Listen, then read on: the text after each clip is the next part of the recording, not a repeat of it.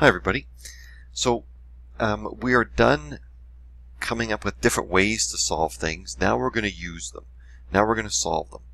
So it says developing a system. So your job is going to be to come up with this stuff now and then solve. So I'm not so sure you're going to enjoy hearing this, but it's going to be word problems. So they gave you an example here. Oh, no, they didn't. Let's just start with the first one here. It says the Nunavut flag has a perimeter of 16. Okay, that would be, I would say that would be important, right? The length is two longer than the width.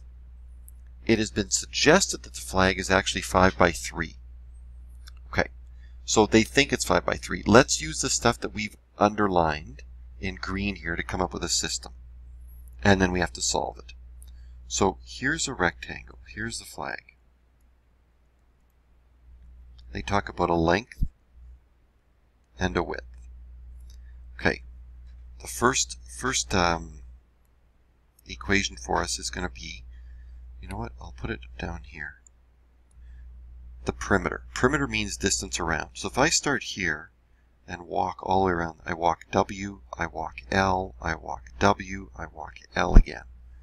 So it'd be 2W plus 2L is 16, would be one of them. Now, the next line, it says the length, the length is two longer than the width. So I actually drew it, it kind of looks like it is longer. So what, to avoid some confusion here, this is what I do to start. I'll just say W equals L, which is wrong. Okay, the width is not the same as the length. It says the length is longer. This is longer, but you want them you want to do something to them so that they're equal. So if the length is longer by 2, how can you even them out? Well, you have a choice. You can add 2 to the width, because it says it's longer by 2, or subtract 2 to the length, the longer one. Your choice. Okay? I'm going to say W equals L minus 2. There you go. Okay. So I, am make I'm totally making this up, but let's say that the uh, length was 10 and then the width would be 8. You're right, you would have to subtract 2 from the length to get the width. Okay, so now we have to solve it. And it's your choice here how to solve it. You can use substitution, you can use add subtract. So line 1, line 2. I'm going to use substitution. Line 2 is already solved for W. I'm going to put 2 into 1. So what's 1? What's line 1? It's 2W plus 2L is 16. Okay, so it's 2. Now it's not W anymore. It's L minus 2 plus 2L is 16. Now work this out. 2L minus 4 plus 2L is 16. 4L is 12. Nope. 4L is 20.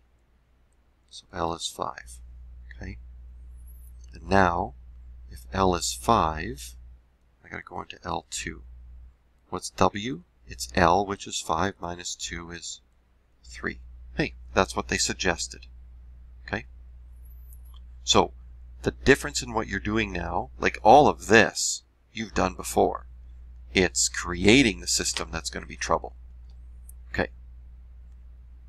What I should have said here at the very start, this is a bit of a mistake on my part, I should have said L equals length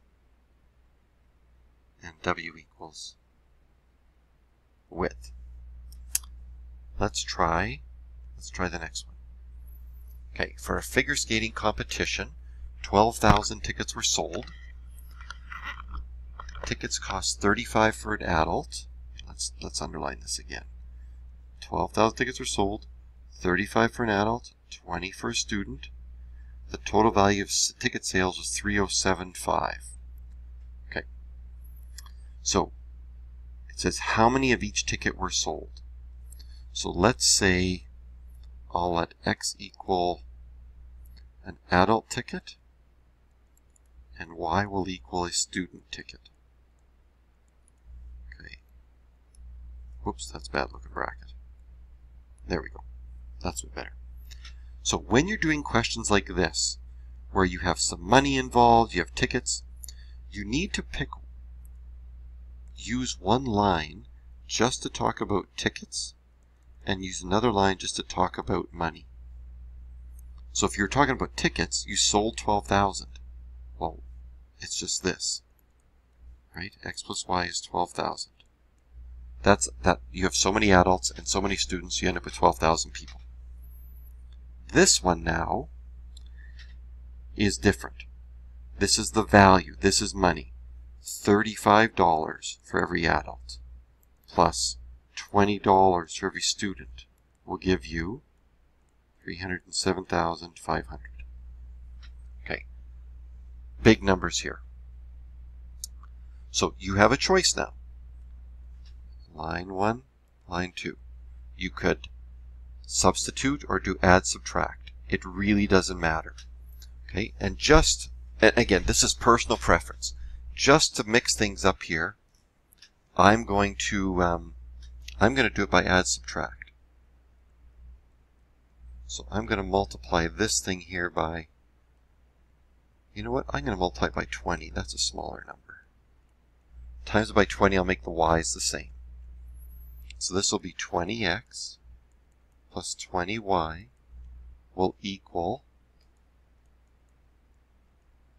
240,000, and this one stays the same.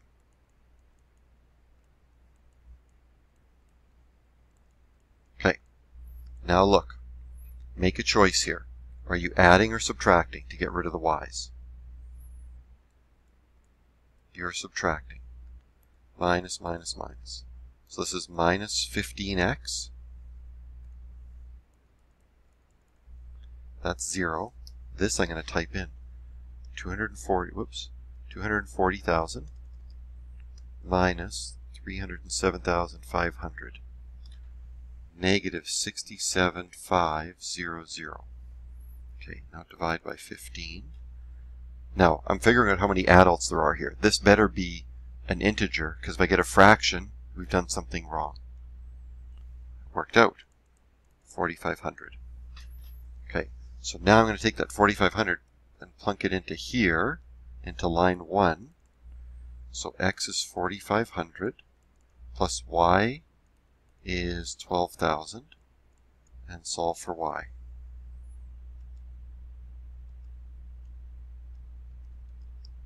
I get 7,500. Good. So it says how many of each tickets were sold. Therefore, you sold 4,500 with that adult tickets and 7,500 student tickets.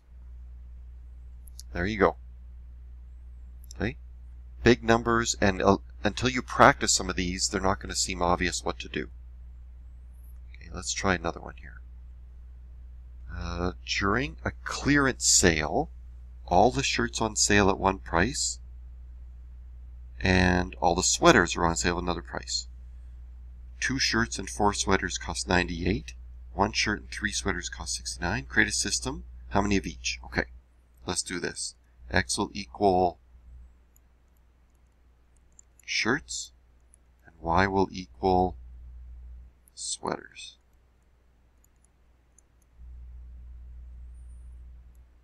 Okay. Wow, not, not very good brackets here. That's better. Okay, I want you to pause it and see if you can come up with a solution, or not the full solution, just the system. I don't want you solving it. Just come up with um, what the two equations are. Okay, and then come back and we'll check. So pause the video now and then return when you're done. Okay, this is what I had. Whoops. Two shirts four sweaters is 98. One shirt, three sweaters is 69. There you go. That's line 1, that's line 2.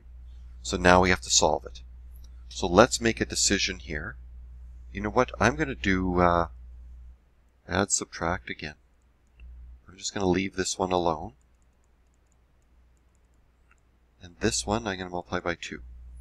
Okay, I'm going to leave this to you guys. Pause the video again.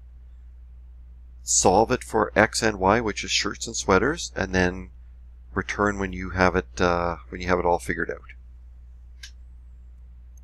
Okay, this will be 2x. That's 6y. This is 138, I believe. Okay, and now we are subtracting. It's minus 2y will equal minus 40. Is that right?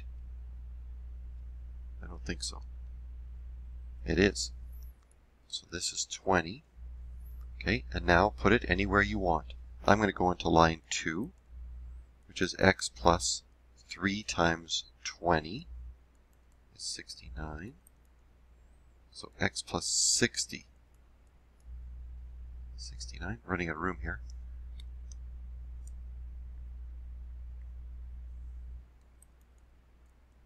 So 6. So then I would have sold 6 shirts and or bought and 20 20 sweaters. Great. Good stuff. Okay. And I think this is the last one. I'm just going to check here. It is. Okay. I'll start it with you and then you guys can again work on your own a little bit. So uh, in Calgary, a school raised $195 by collecting 3,000 items for recycling. 5 cents for each pop can, 20 cents for a large plastic bottle. How many of each? Okay, let's do this to start.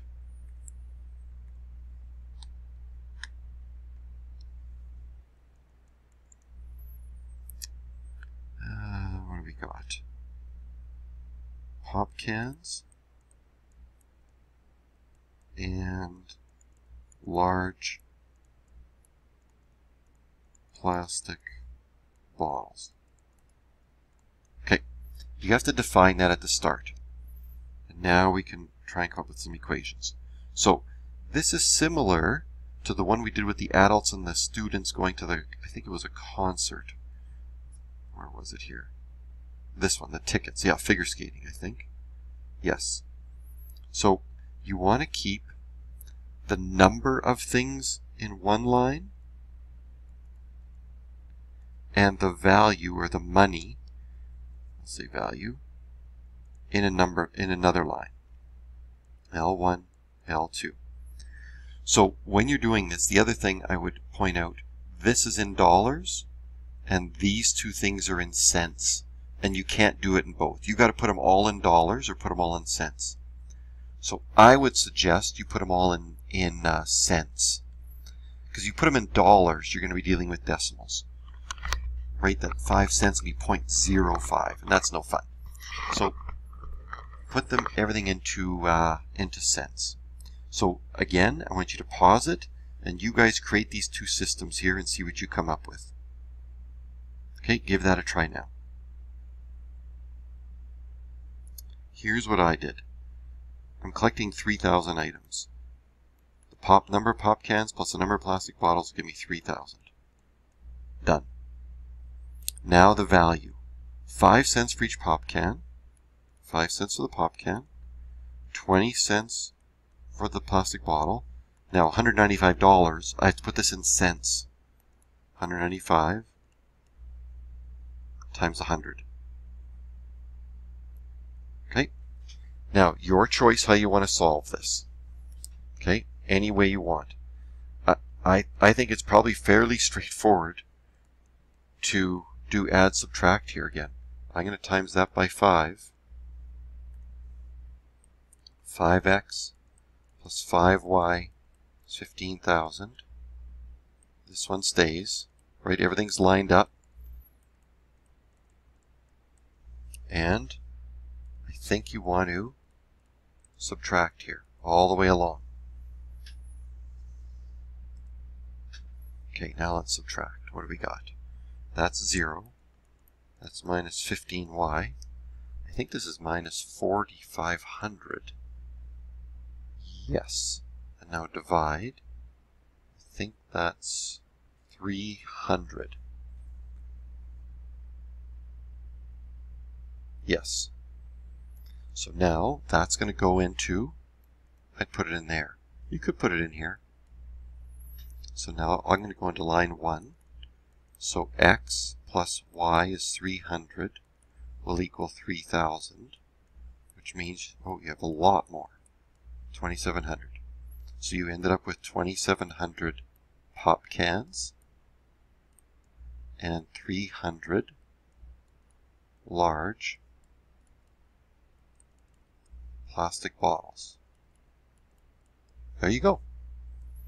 Okay, those can be tricky. So when you guys are doing this now, this lesson is exercise, the work you're doing is exercise 46. When you're doing that, there are uh, 12, 12 of these word problems. You may not be able to set them up. Like they're not all going to look like this. There's some that will and some some won't. So do what you can do, but the real value in trying to figure these out and getting better at them is to, to try and try. Okay, there's some stuff in here about current in water, I think. Uh, is there one like that?